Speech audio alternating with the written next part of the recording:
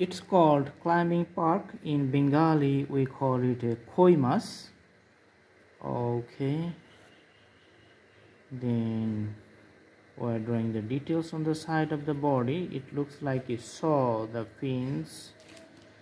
Looks like the jigsaw. Okay.